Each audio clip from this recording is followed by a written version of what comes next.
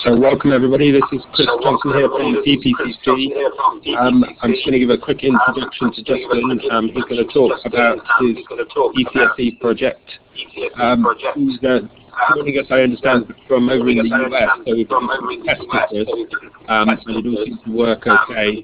I'll hand over to Justin, who's going to uh, tell you about his ECSE project, and just let us know as we go along, so if there are any problems, and I'll keep an eye on the chat window.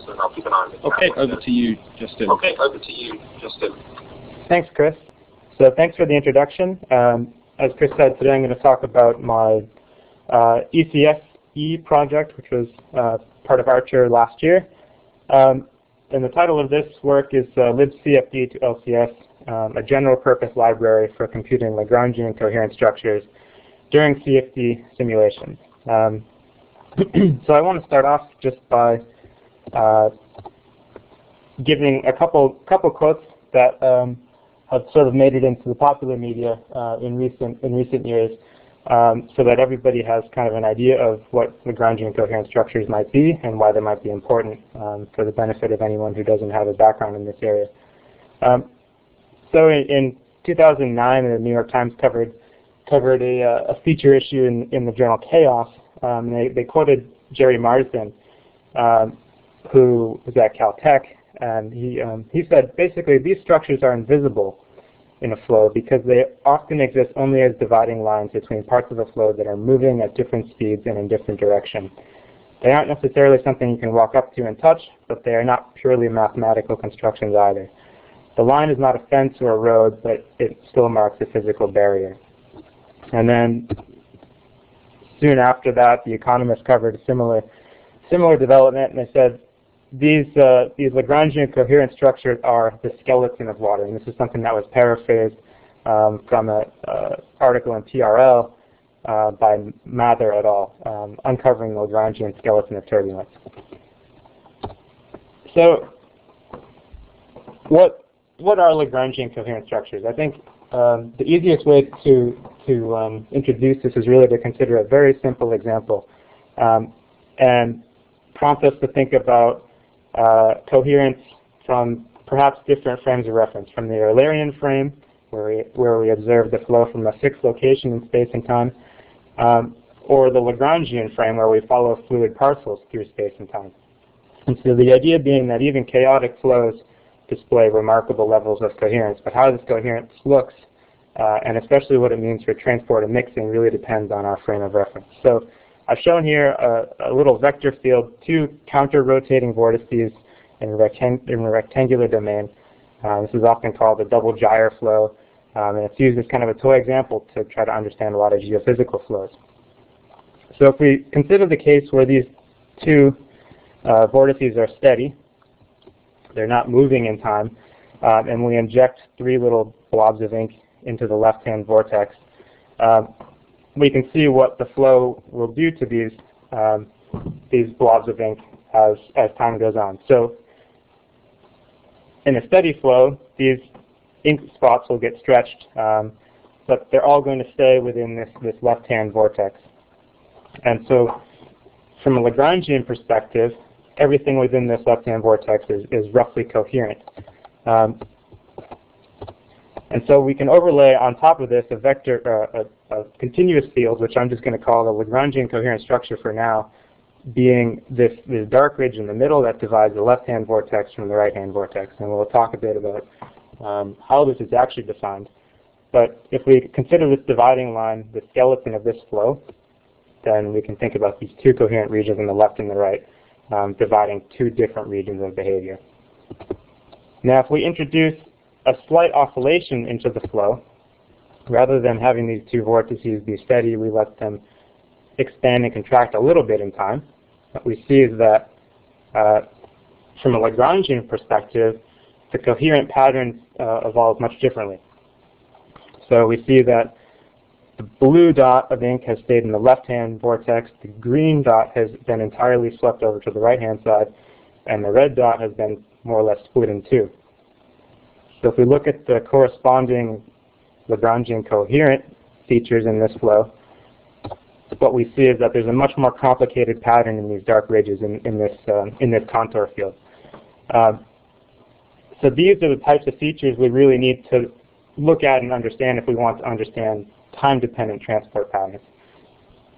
I'll talk a bit more later about what these actually are and how we define them, but this is sort of the, the motivation for why we want to look at Lagrangian coherence rather than just Eulerian coherence, which is probably more prevalent. So in this talk, uh, what I'm going to talk about is a new numerical library called libcfd to LCS, uh, which is a general purpose library for computing these LCS. And in particular, we can now compute them with this library during a CFD simulation. So I'll give a little bit of background on what LCS are and how we compute them, and then more detail about specifically the libcfd to LCS approach, which is um, taking advantage of an integrated computation within a CFD simulation.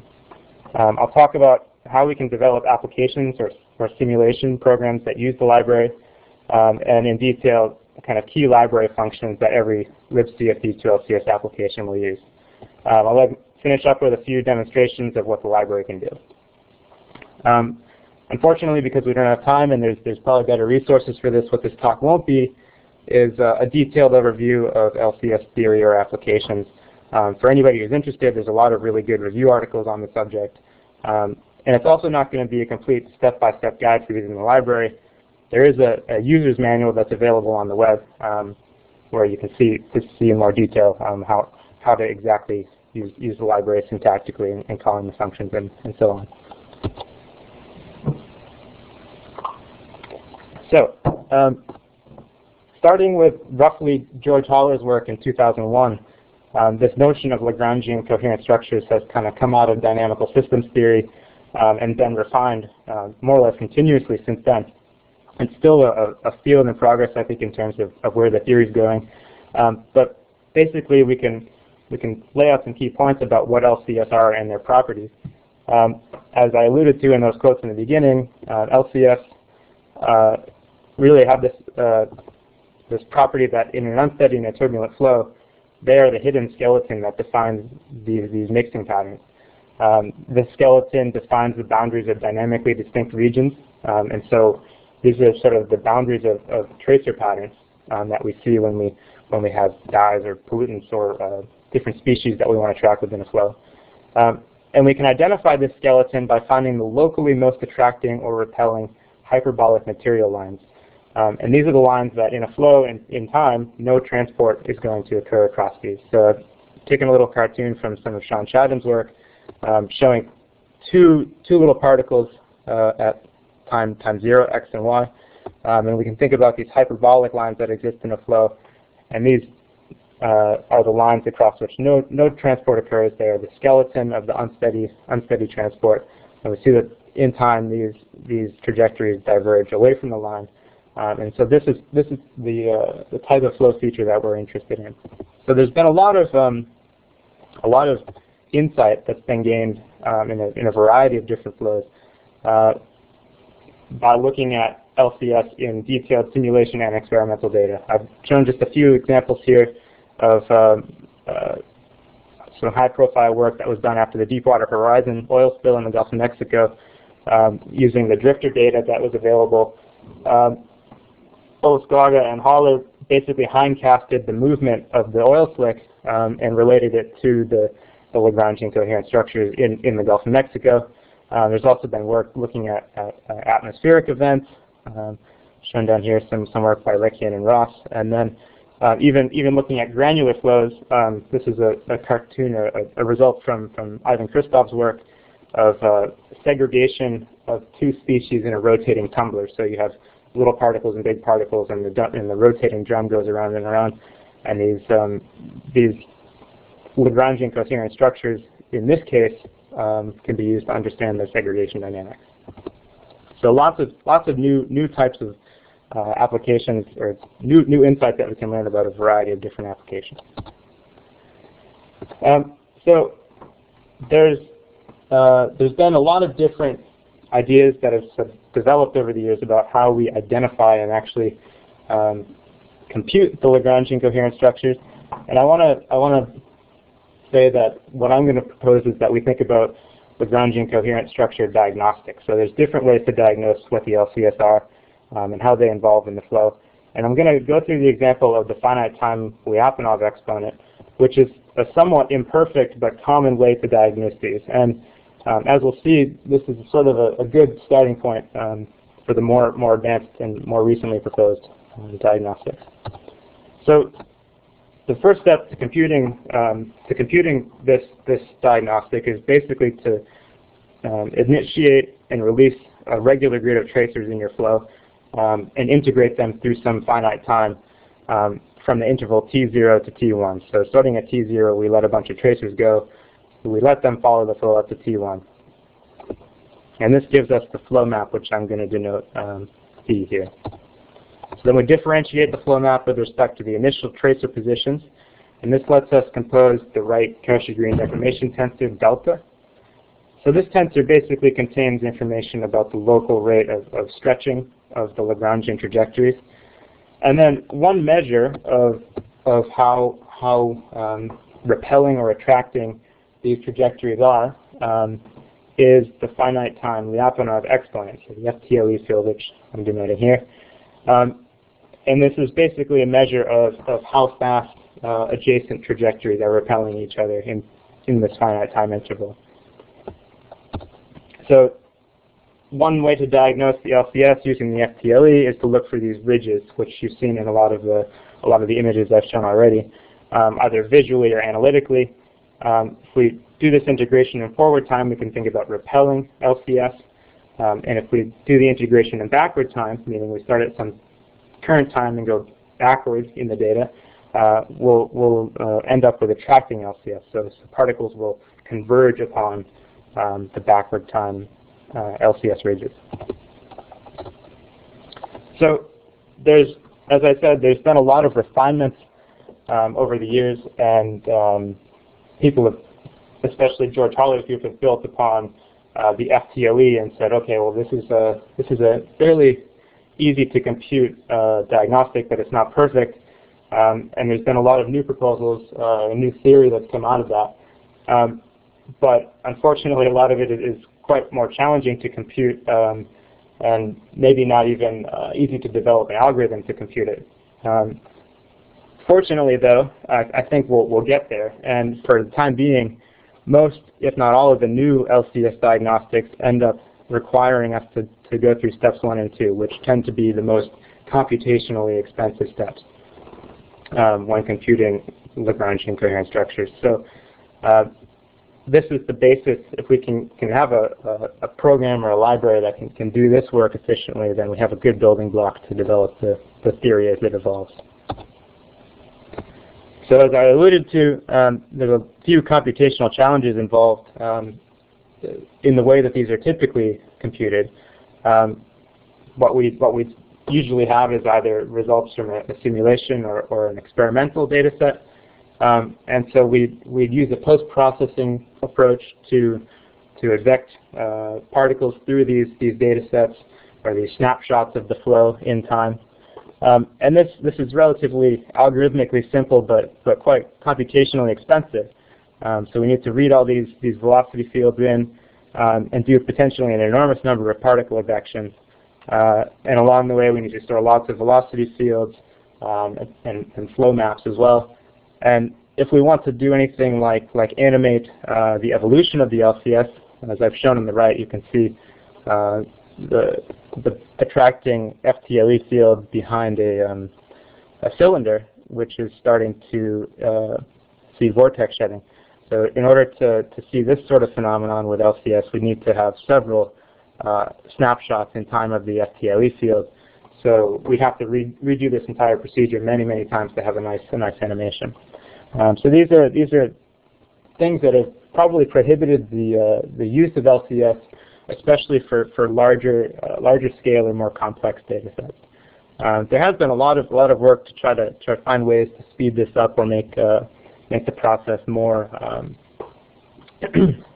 more more easy to use and more uh, more efficient. Um, and the the one that I'm going to talk about today is some some work that I started a few years ago on integrating the whole computation within a CFD simulation. So this, this came out of some work that um, uh, was published in Chaos in 2013. And the whole premise was basically we want to ditch the post-processing uh, and compute LCS on the fly within the CFD simulation that we're doing. Um, so uh, if anyone's interested in the in the details of, of the algorithm, uh, you can refer to this paper. Uh, but basically what we can do is we can embed the computation of forward or backward time FTLE fields uh, in the simulation as it evolves. This requires taking advantage of a few tricks which have been proposed in the last few years, um, specifically some rules about how you can compose flow maps, um, and the, the, fact that we can treat the backward time flow map um, as, a, as a collection of scalar fields. Um, but the result was that we were able to do this and, and get, get quite, quite nice results uh, with a modest additional overhead relative to the CFD simulation on its own.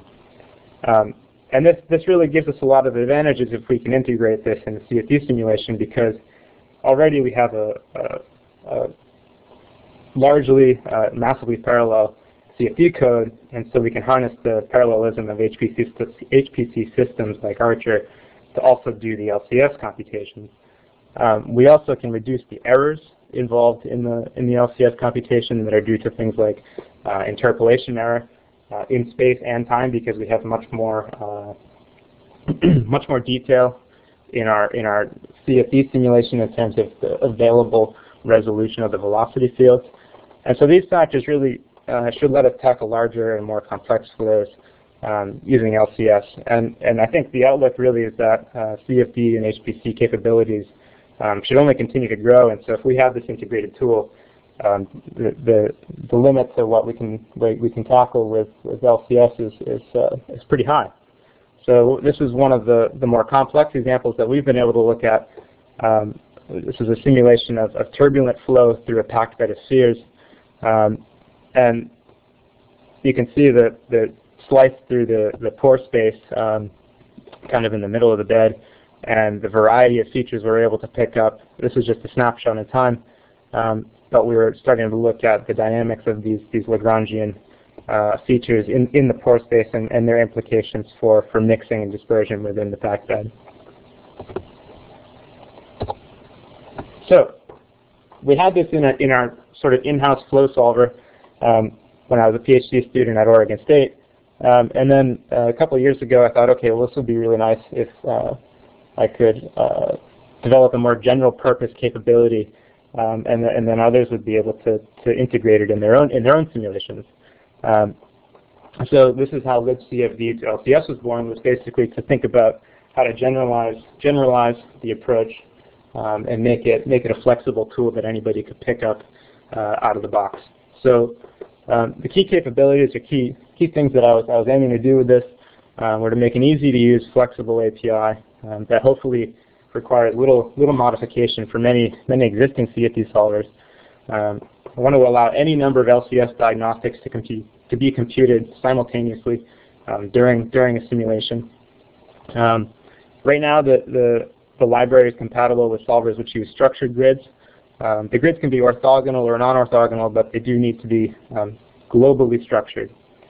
Uh, we have some user-specified grid refinement that can be done, and this helps us uh, refine the detail of the LCS if we want more than just um, the detail that's afforded from our native CFD grid. Uh, we have interfaces for C, C++, and Fortran. Uh, the whole library is, is uh, built on built on MPI, uh, so it's a distributed memory uh, platform, and, and, we've already tested it up to 4,000 cores on Archer. Um, so, so the hope is that this kind of interfaces well with a with a large-scale CFD simulation. Um, and then the hope is that the the development of the library can continue, um, and that we can continue to add new LCS diagnostic types um, within a modular, extensible code base.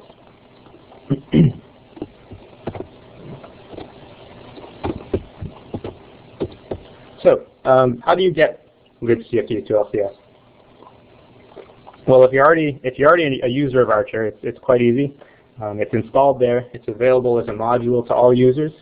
Um, basically, it's a three-step process. Uh, if you log into Archer, uh, the best thing to do um, is to load a sequence of modules that I've shown here. If possible, if you don't need a, a the Cray or the Intel programming environment for your for your code, I think it's best to use the, the GNU environment. This is only because it's the most tested uh, environment that I've used for the library. Um, hopefully down the line we can we can uh, better better test the other the other two environments. Um, you'll also need to load the HDF5 parallel library, and this is for the, the parallel input-output. And then finally, load the libcfd library itself. If you don't happen to be a user of Archer, um, a library, a user's manual, and several example programs are available on the web here. Um, so you can download this and build it on your own workstation or HPC system. There's fairly minimal dependencies. Uh, really what we need is uh, just working MPI, F90, and C compilers, uh, a LAPACK library, and HDF5, which again is the, for the parallel input-output. This is uh, this is optional. Um, so if you don't have that capability on your system, uh, there is a, a serial input-output option as well. Uh, so there's, there's also a basic build instruction and makefile provided here. Uh, and this library is being distributed under the, under the GNU public license. So now I'm going to summarize basically the, the steps you need to go through to, to get libcfd to LCS working with your own code. Um, it, it's, I, I, hope, quite straightforward because I've tried to make um, uh, most of the most of the things you need available as environment variables when you when you're compiling uh, with the library. So the first thing to do is pick up this makefile.in, uh, which contains definitions of, of includes and and, and uh, libraries needed for linking. So if you have a, a makefile for your for your application, on the top of that you can, if you're on Archer, just include um, CFD to LCS home makefile.in. Um, if you're not on Archer or in general, you'll just include the path to the libcfd to LCS installation and then the makefile.in. Um, what this makefile.in contains is, is, a few variables uh, that point to the, to the necessary include path in the library. So the next step is when you compile your object files that, that use, uh, use the library, we just include this include path um, in, in, the, in the compilation. And then when we do the, the linking, uh, we need to link with the CFD to LCS libraries. And there's there's both single precision and double precision uh, excuse me, double precision versions of the library available. So if your code works in single or double precision, uh, you can pass the data appropriately to the library. Um, and all you need to do is just choose the, the correct single precision or double precision variable here. And finally, um, in the in the part of your source code where you actually call the um, the routines that are are located in libcfd LCS, uh, you'll need to include a header file kind of at the top of your uh, your definitions or, or, or, the relevant spot. And this just picks up some, some global variables um, and constants that are, that are helpful. So here, again, we have Fortran and C syntax uh, for single or double precision, depending on what your code uses. um, in terms of learning exactly how to how to use it, the sort of the, the way to develop applications that use CFD to LCS, I think the, the easiest way to learn is really to look in the examples. There's some uh, some quite basic uh, example programs in the examples directory of the source code, um, and, and you can follow these and, and see the sequence of calls that are made to the library in order to set up the LCS calculations. Um, so I've shown just here a, a, bit of pseudocode to give you an idea of, of, of really the, the procedure involved. Um, so if this is if this is an entire user's application that, that basically represents a CFD simulation, again at the very top what we're going to do is we're going to include the CFD to LCS header file, and then probably the CFD simulation is going to go through a sequence of steps to initialize um, the simulation like reading in grid coordinates, establishing boundary conditions, um, and establishing some domain decomposition if we're running a parallel simulation. Um, in order to then initialize uh, the CFD to LCS library to get it ready to do these LCS computations, um, there's a sequence of calls that I'll, I'll, go into more detail, but basically these these calls here, uh, these are what we're going to, to call to, to set up the library. We're then going to start the simulation at time equals t start, and we're going to run the simulation until time equals t finish. And each time we go through this loop, we'll establish a new velocity field. Every, every iteration or every step of our simulation we will get a new velocity field, uh, which I'll call variables u, v, and w. um, we'll then update any CFD to LCS diagnostics that we've initialized. If we happen to be done with the diagnostic, we'll get rid of that and remove it from the computation. And we'll keep doing this loop until we're done with the simulation. And when we're all done with that, we can finalize the library and end our application. So this is really the sequence of what, what it, it's going to look like within your own application.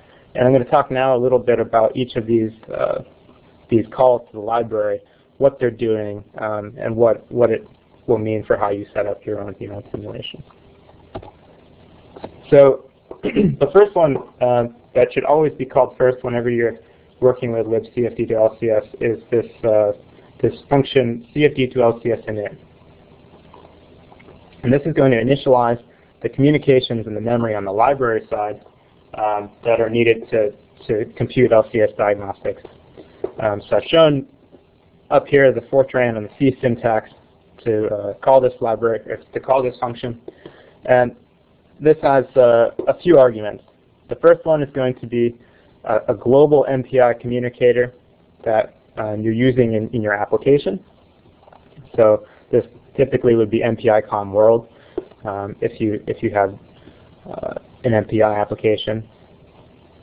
N is going to be the number of grid points for each uh, each processor in the X, Y, and Z direction. So as I mentioned before, we need to be working with a structured grid for now. Uh, there's no requirement on the orthog orthogonality of the grid, but it does need to be globally structured. So here on the right I've shown this cartoon of a, a simple domain using four processors. Each processor has four grid points in X and eight grid points in Y. Um, so we're going to share with the library each processor's uh, number of grid points n. We're also going to share the local offset of each subdomain uh, within the global array. So you can see uh, in the lower left-hand corner here, this black grid has an offset of 0, 0. If we go to the right, we have an offset of 4 and then 0. Um, and you can see how that, how that works in each of these subdomains. So this just lets the library know where each processor sits uh, within the, the, global array arrangement. uh, we're then going to pass the x, y, and z coordinates of this grid. Um, and so this will be arrays of size n1, n2 times n3. Uh, and this will just be the Cartesian coordinates. And then finally, we're going to pass an integer array that corresponds to a, a, boundary condition for each grid point. So each of these grid points is going to have a tag associated with it, uh, which allows us in the library to understand what kind of uh, boundary condition is at that point. There, if you look at the manual, there's several options um, that hopefully should allow us to do quite a variety of simulations or, or, or work with a lot of different conditions.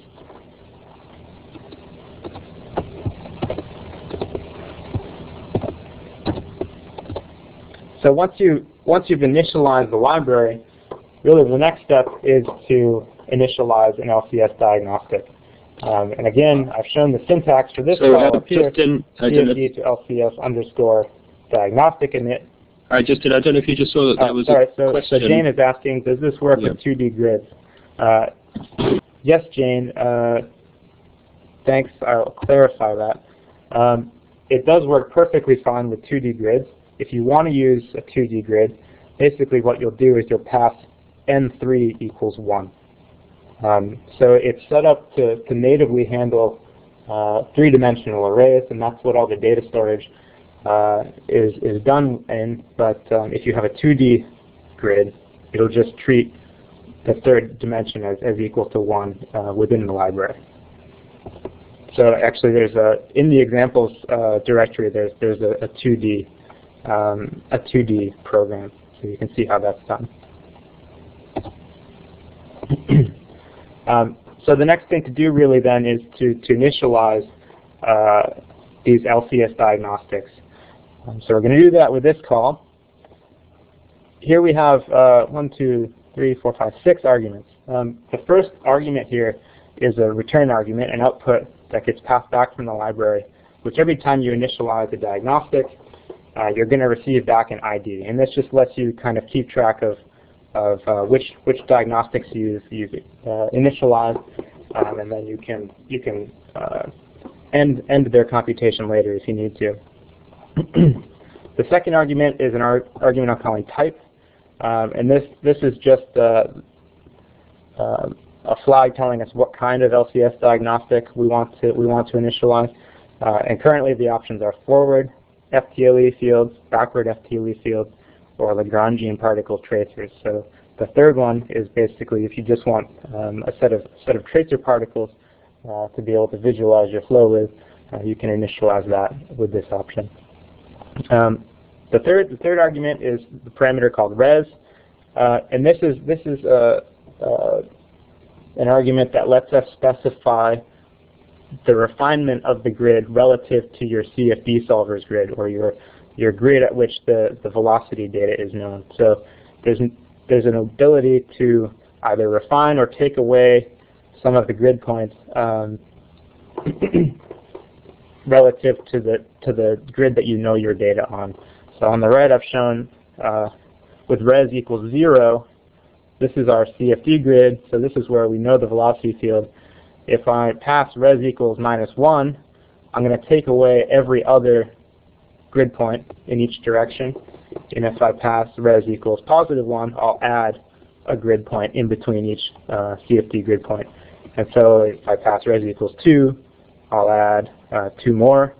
Res equals 3, I'll add 3 more in between each CFD grid point. So this gives you the ability to, to sort of adaptively refine um, your, your LCS um, to the to the detail that you need to capture.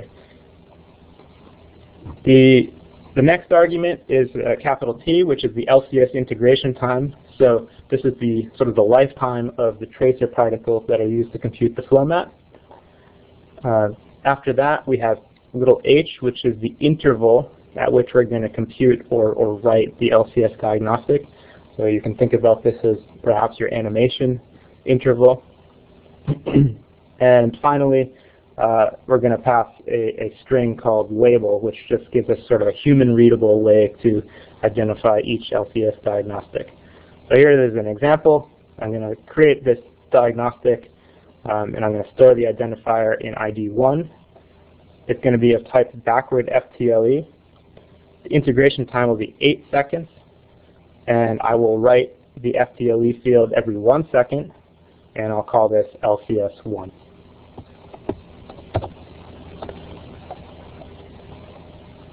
The next, uh, I'll skip, I'll skip that for the time being.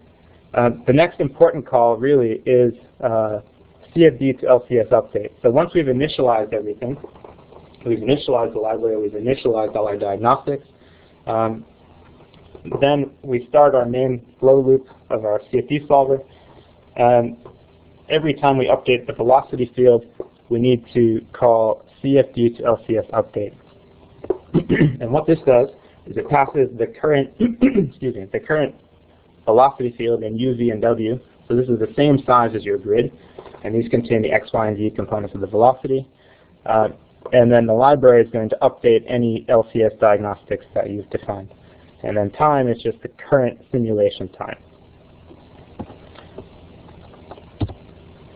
So that that's really the the main uh, the main calls that you'll need to make to your library to get the computation running.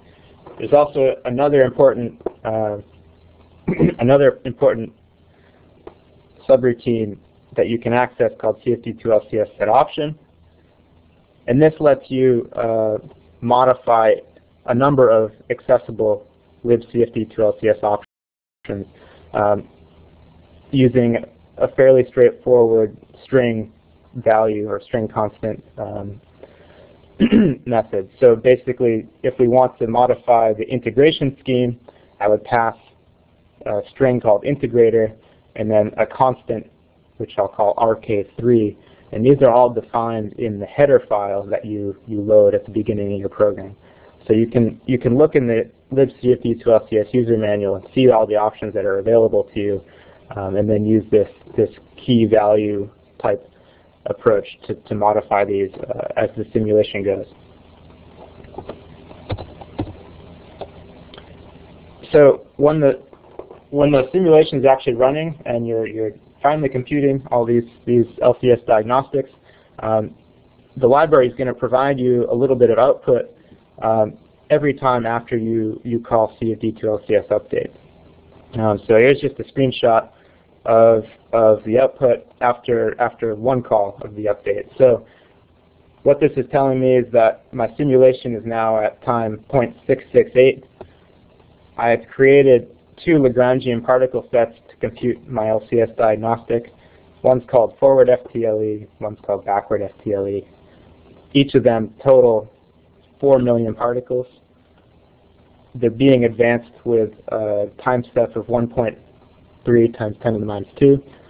And finally on the right, the n subcycle parameter tells me that I'm advancing them with a time step that is uh, twice as small as the CFD uh, time step. And this is this is handled adaptively within the code, and there's some tuning available um, to the user within the within the CFD2LCS options.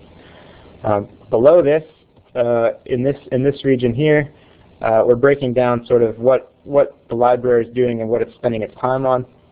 so you see there's a there's an application total, and this is in terms of wall clock time, uh, and then there's a total CFD2LCS time. So we see at this instant, the CFD to LCS computations are taking roughly 38% of the total application overhead.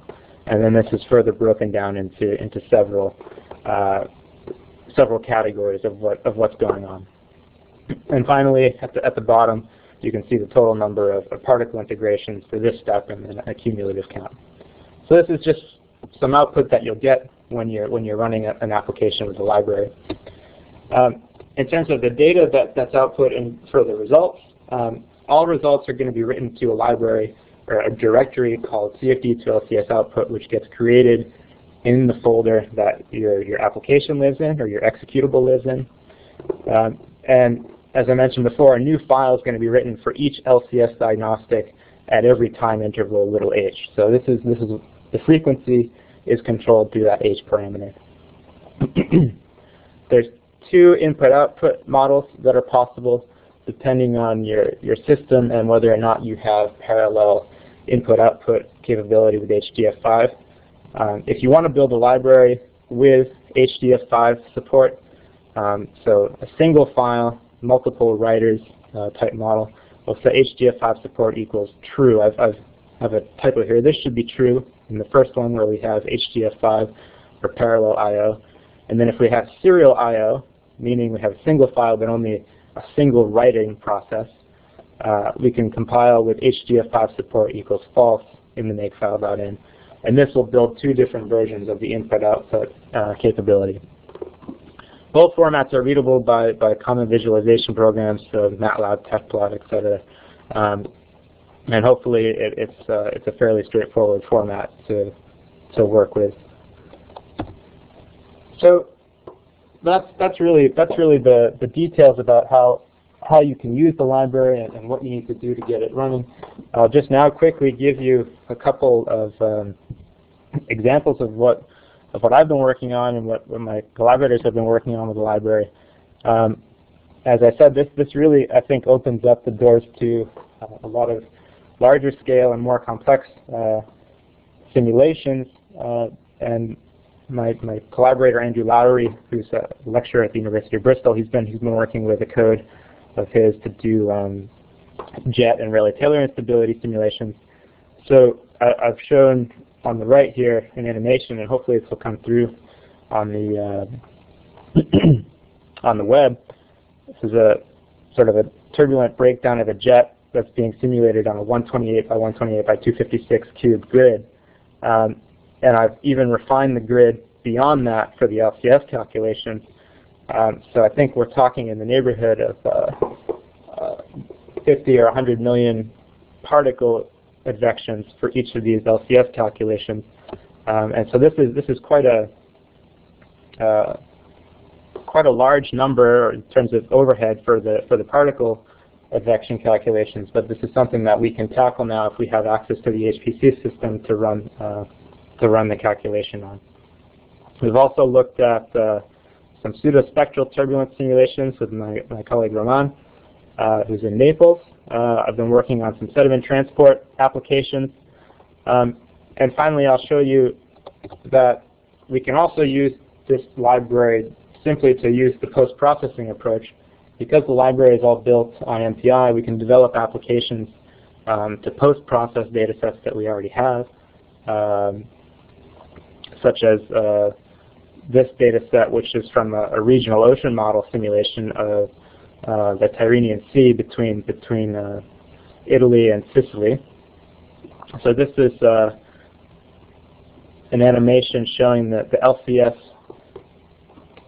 and their evolution over roughly a 40-day period. Um, and so this was all this was all done by loading in the data that was already existing into the library um, and then computing it as as we typically would in a post-processing approach. So you can see that actually the library can work in the old school way as well as this integrated approach uh, with with the simulation.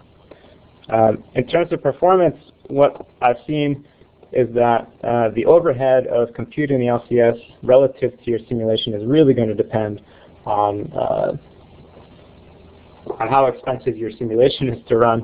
Um, but if we want to compute one or two FTLE fields with roughly the same level of detail as uh, the hydrodynamic simulation, we're looking at approximately perhaps 30 to 50 percent of the simulation time. And this, again, really depends on parameters uh, and the, the specifics of the solver you're using. But all in all, I think this is a relatively affordable way uh, to get LCS type results and, and to be able to use this, this type of technique to analyze new data. So to summarize, uh, we've talked today about libcfd to LCS, which is a, a, new platform for computing Lagrangian coherent structures. Uh, crucially, this has the capability to be integrated into your own MPI CFD solver or post-processing utility. Um, I think it's a quite simple, relatively easy to use interface, uh, and it's flexible enough that, that it can be developed in a variety of solvers uh, and can be called from C or C++ or Fortran. Um, and I think this is exciting because there's really lots of new applications that we can explore now uh, using HPC in a variety of CFD codes. So moving forward, um, I, am hoping to be able to continue to develop this project um, and, and, include things like, like inertial particles uh, to understand dynamics of, of, uh, of those uh, in, in, inertial Lagrangian coherent structures, uh, as well as some of the newer diagnostics uh, and keeping up with, with the developing theory uh, as it continues to evolve. So again, I have to thank the, the Archer National Supercomputing Service for funding this project uh, through the Embedded CSE program. And again mention that this is a, a collaboration between uh, myself and Roman Watteaux and Andrew Lawrie. So uh, with that, I, I, think I'll finish, and if there's any, any questions, I'll, I'll take them either through the chat or, or uh, if you want if you want to speak to me, that's fine too. So thank you. So many thanks, Justin, for that. So as Justin said, if anybody has any questions, said, anybody has any questions uh, please just just type them in uh, or even uh, talk. Type them in or your talk on. Talk. You should be able to talk into the, uh, the Blackboard, and it will uh, everyone should be able to hear it. Everyone should be able to hear it. Okay, so if nobody has any questions, oh, okay, so if nobody has um, any questions, oh, there's one. in just from um, Chris Wilson there. One in just from Chris Wilson there. Mm -hmm.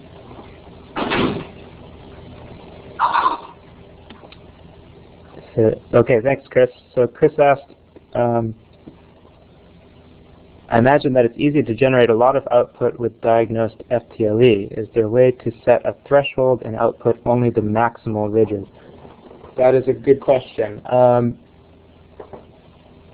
presently, the library is going to output the entire 3D field of whatever diagnostic you initialize. And you're right, uh, if you have a large, uh, a large data set or a large domain, the output can grow quite quickly.